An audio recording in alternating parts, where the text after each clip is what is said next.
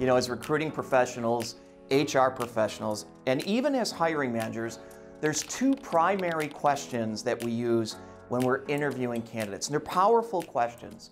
Number one is what? What have you accomplished? What have you done in your career in your last job? It's important to ask that question.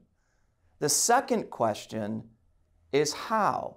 How did you achieve that? How did you come to that conclusion? How did you address that particular situation?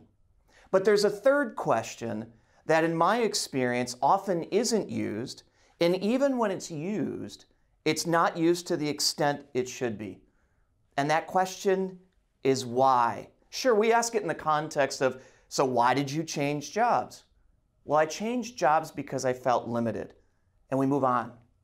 Instead of asking the follow up questions, why did you feel limited?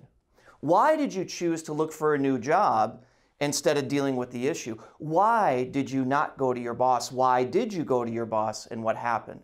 The first why is sometimes easy. The follow up whys become more difficult. Why do we avoid the question of why? I think there's three primary reasons that we've got to understand.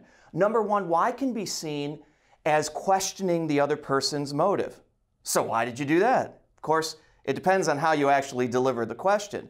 But it can, if we're not careful, the other person can be seen as being questioned.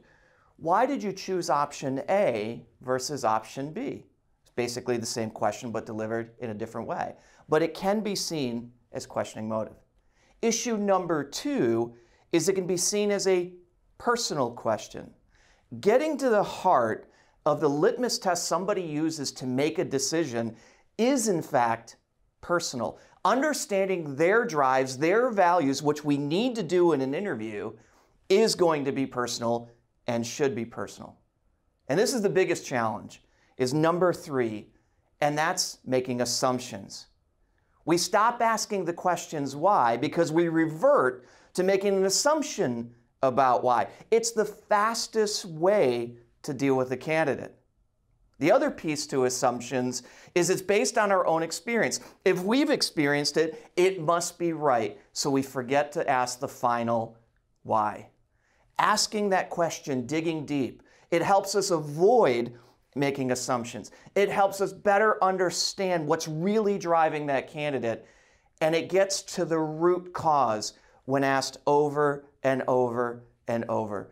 But unfortunately, we stop short. So the next time you interview, I'm going to challenge you to think about these three questions first. Number one, what's the question you're going to ask? Very basic. Number two, why are you asking that question? And number three, why is knowing the answer to that question important to you?